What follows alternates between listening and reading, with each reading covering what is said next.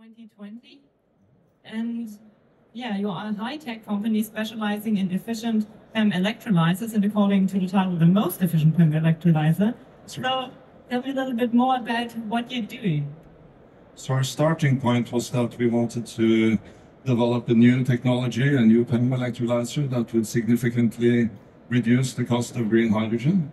And this was a uh, kind of R&D and development work that was carried out at uh, SINTEF in Norway, the uh, main research institute of, of Norway. So two of my uh, co-founders and also leading scientists in the world of uh, PEM, Magnus and Alejandro, they were working on a new, uh, it's a revolutionary design for a more efficient PEM electrolyzer. So that was the um, uh, starting point uh, of the company.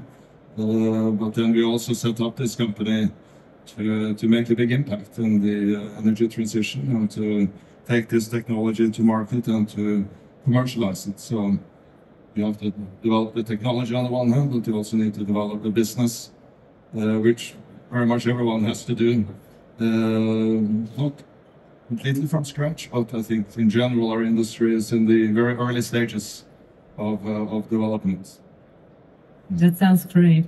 So yeah, you basically took on the mission to make green hydrogen affordable because efficiency is key. Yes. Definitely.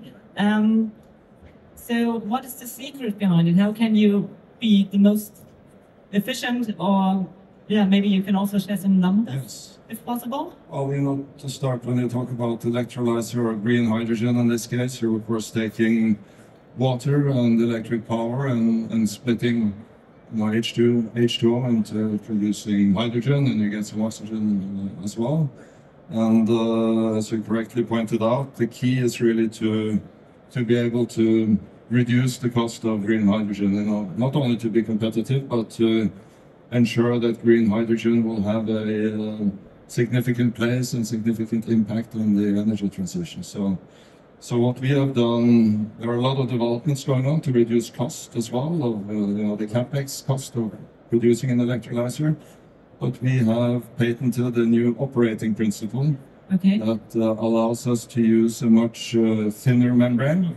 So there's nothing unique about the membrane as such. We're use, utilizing mass-produced fuel cell membranes. But the thickness of the membranes we use is about one-tenth of the thickness of a conventional PEM electrolyzer membrane. And uh, as um, it's important to note that the majority of the losses in an electrolyzer originate from the membrane and the ohmic resistance across that membrane. So the thinner the membrane, the lower the losses and the higher the efficiency. So our system is, um, uh, we have, uh, you can come to our stand and learn more about it and our chief product officer will have a presentation at 4 o'clock today as well. Uh, but we basically have an air ventilation system on the anode side, which enables us to uh, dilute the hydrogen concentration on the oxygen side, because with the thin membrane, you have the challenge of hydrogen crossing over from the cathode to the anode. Uh, but I will save the technical details for my colleagues later on, but it's, uh, it's a very novel and new um, operating principle for a PEM electrolyzer, which allows us to use a thin membrane, which is also mass produced. So there are some cost advantages to alongside this increased efficiency and also some safety benefits because uh, we have this uh, air ventilation integrated in the electrolyzer, which uh, provides an additional safety feature, which we see that a lot of our customers uh, value. Wow, so you really convinced me. um, so that was the technical side, but how do you bring your breakthrough technology to the market? Do you have a particular product or several product lines, and um, how does it look like, your business case, and what's your typical client? So I would say that you know that's really unique aspect of Hystar is our stack technology and our, our performance, and we are mass. We're setting up a gigawatt scale, fully optimized uh, assembly line of our uh, of our stack.